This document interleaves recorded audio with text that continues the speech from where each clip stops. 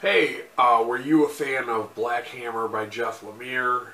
Well, perhaps maybe you'd want to check out these side stories. This one is Colonel Weird, Cosmagog.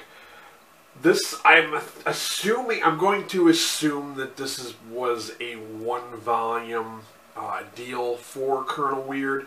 Um, even though they did kind of allude to some things in his storyline and they didn't really finish it up or like really full on explain what happened. And I would like to see them go back and explain things like that. Like for instance his wife disappeared into the um, that weird place he goes to the para parazone or whatever but um, I, the one thing that really got me for this, this is a Dark Horse comic, of course.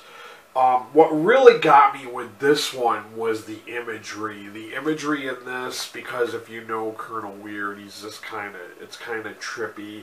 Um, the watercolors are fantastic. I mean, look at this artwork. Um, I think the artist is Tyler Crook but yeah, just look at that art, that artistry. It's just, it's just beautiful. And like I said, it's got some weird scenes, you know. Yeah, so this is uh, illustrated by Tyler Crook.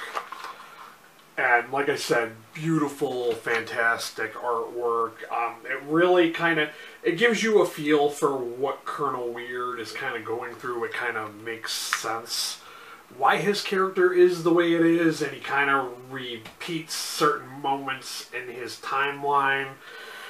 And like I said, it really fleshes out the character of Colonel Weird.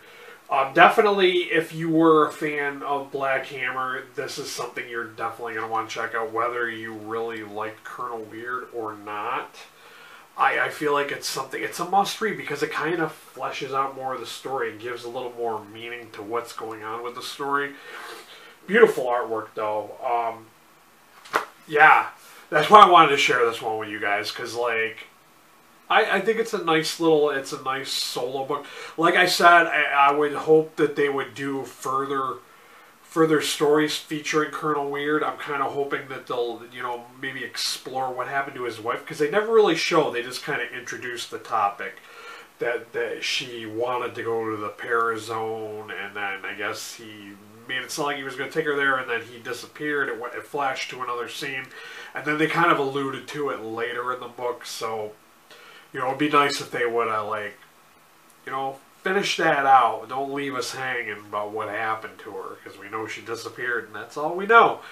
But yeah, um, of course, as always, I will have a link to Amazon down below. And if you're not aware, if you're new here, um, I get a very small percentage of each and every sale made through those links. You don't necessarily have to buy this exact book. If you shop through that link, I get a small percentage of whatever you purchase.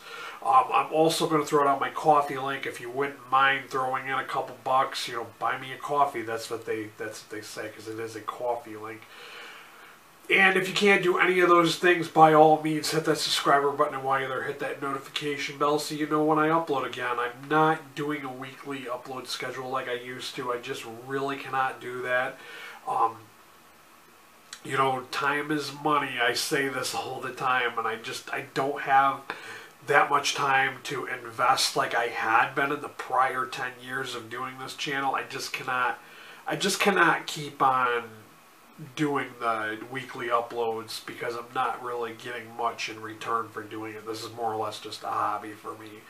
So it is what it is, but you know, thank you for watching and until next time, later.